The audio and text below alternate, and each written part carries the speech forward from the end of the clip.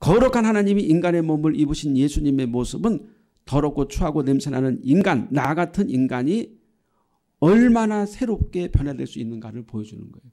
하나님의 말씀이 인간의 몸에 임하셔서 그리스도가 되셔서 그리스도께서 거룩한 삶을 사셨다면 내 안에 하나님의 은혜가 임하고 그리스도가 내 안에 계신다면 나도 영광스럽고 거룩한 하나님의 자녀로 살 수 있다는 희망과 소망을 보여주는 것이죠. 하나님의 영광을 입으신 분이 예수님이시라면 만일 죄인이 그리스도의 영광을 입는다면 지극히 높은 거룩한 곳에 올라가서 하나님의 보좌 곁에 설 수 있다는 놀라운 이야기가 되는 것입니다.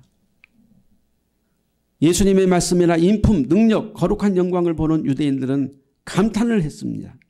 바리새인들이나 서기관 대제사장들도 속으로는 시기했지만 그러나 어떻게 저런 일개의 목수에게 저렇게 찬란한 영광과 권세가 임할 수 있을까? 너무너무 그 바리새인들과 서기관 대제사장들은 예수님을 시기 질투해서 어느 정도로 시기 질투했느냐? 죽이고 싶을 정도로 샘을 냈어요. 그렇잖아요. 어떤 사람을 너무 샘을 하면 막 죽이고 싶죠. 없애버리고 싶죠. 사악한 자들은 이 예수님의 놀라운 영광을 보면서 감탄하고 찬양하고 예수님을 믿는 것이 아니라 막 시기 질투가 나서 막 저걸 어떻게 하면 죽여버리지 이렇게 생각했다 그 말이에요. 우리가 그 영광을 보니 아버지의 독생자 영광이요 은혜와 진리가 충만하더라. 유대인들은 과거로부터 멀리 계셨던 위험과 두려움으로 여겼던 하나님의 영광을 너무 가깝게 인간적인 따뜻함과 배려 그리고 푸근함으로 만끽할 수가 있었어요. 너무나 친근하게 다가오는 예수님의 은혜와 긍휼뿐만 아니라 또 감히 범접할 수 없는 하늘의 권능을 함께 체험했단 말이에요. 누구를 통해서?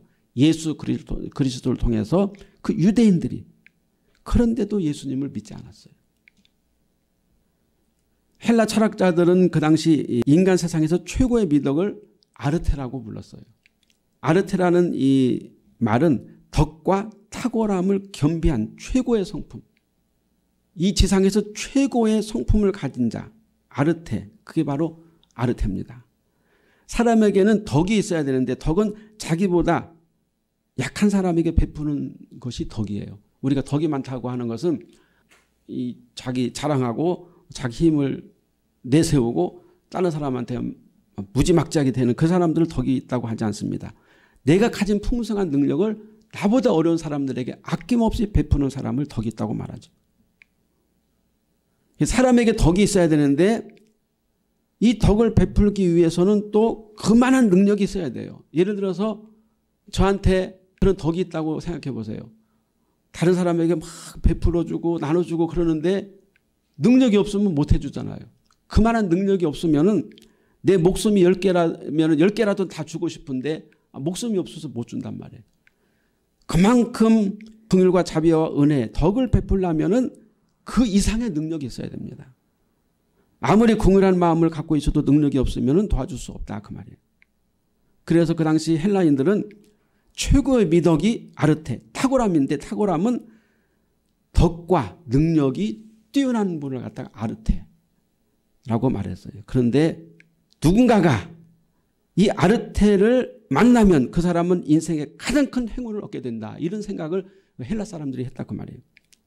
정말 누군가 구원을 요청했을 때 정의롭고 합당한 방법으로 넉넉하게 충분히 그 사람을 도와줄 수 있고 구해줄 수 있는 아르테가 있다면 이 세상에 있다면 얼마나 우리에게 행복이 될까. 내가 가서 그 사람에게 뭔가 요청하고 어렵다고 그러면 무조건 도와주는 거예요. 충분히 넉넉히. 그런 사람이 내 곁에 있다면 얼마나 행복할까. 이것이 그 당시 예, 헬라 사람들의 그 이상향이었다 그 말입니다. 진정으로 공정하고 의롭게 전혀 어떤 사익이나 편견 없이 가장 완전하게 죄인을 구해줄 수 있는 자가 있다면 바로 그게 누구냐 사도 요한은 예수 그리스도시다 이렇게 말합니다. 너희 헬라인들이 그렇게 바라고 원하는 아르테 그 아르테 덕목과 충만한 능력을 가지신 분이 바로 예수 그리스도다 이렇게 딱 하고 증거를 한 거예요. 그러니까 그 헬라 사람들의 사고방식으로 한다면 우리 옆에 예수 그리스도가 계신 것이 우리가 얼마나 큰 행복입니까? 충분히 넉넉하게 우리에게 생명의 은혜를 주시고 우리를 도와주시고 영원한 기쁨과 소망으로 인도해 주시는 바로 우리 곁에 계신 최고의 아르테 그분이 바로 예수 그리스도다. 이렇게 좀 어려운 내용이지만 쉬워요. 누구든지 다 원하잖아요.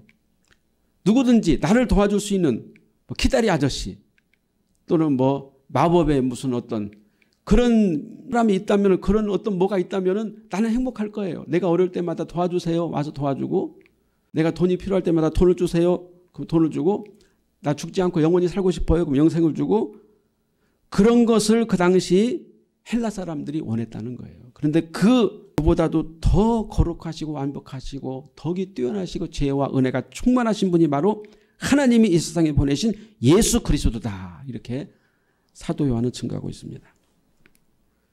그래서 그 예수님이 땅에 오신 것은 우리에게 뭐라고 그랬습니까? 은혜 위에 은혜로라. 은혜가 넘치는데 또 그 위에 은혜가 넘친다. 이런 뜻입니다. 은혜 위에 은혜는 겹은혜, 은혜가 흐르고 넘친다는 뜻입니다. 예수 그리스도는 우리에게 넘치는 은혜, 주체할 수 없는 은혜로 우리에게 다가오신 줄로 믿습니다.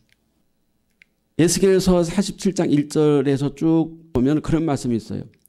예스겔이 본 성전의 그 문지방에서 물이 흘러나와요. 생수가 흘러나오는데 처음에는 이렇게 발문막 차다가 무릎 차다가 그 다음에 허리까지 차다가 나중에는 넘실넘실 돼서 강을 이루고 그 강이 닿는 곳마다 생물들이 살아나고 물고기가 번성하고 강 옆에는 각종 실과나무가 자라서 잎사귀가 마르지 않고 열매를 맺었는데 그 잎사귀는 약재료가 되고 열매는 양식이 되리라 이렇게 말씀하고 있어요. 바로 예수 그리스도를 상징하고 예수 그리스도를 말씀하고 있는 것이죠.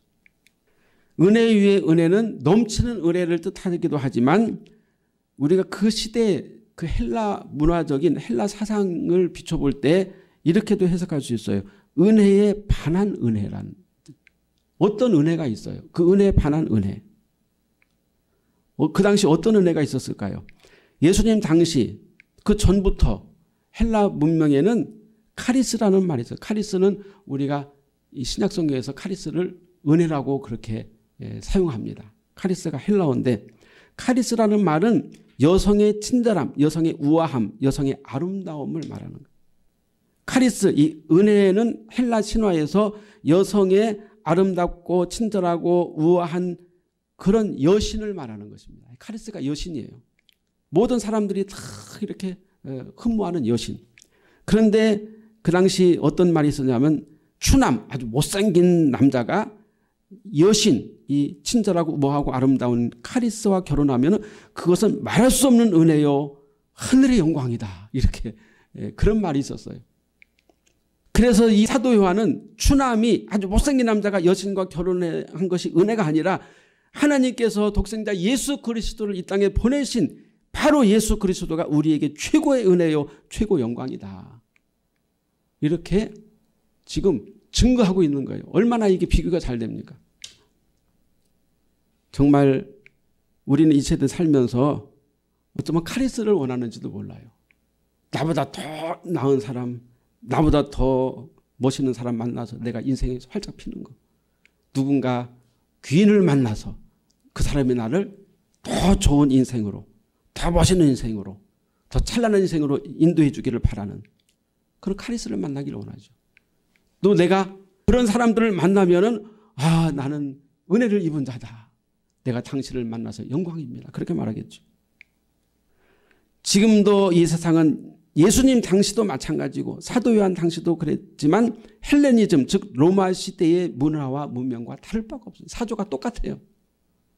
이 시대는 금권, 외모 주상주의, 꽃미녀, 꽃미남, 능력자, 권력, 명예, 인기를 신처럼 은혜처럼 삼는 시대가 타락한 시대가 이 시대예요. 정말 정말 우리는 세상이 주는 세속적인 은혜에 반한 하나님이 하늘에서 내려주신 그리스도의 거룩한 은혜를 갈망하고 충만하기를 원하는가 이 시간에 우리 마음속에 한번 깊이 생각해 봐야 될 줄로 믿습니다.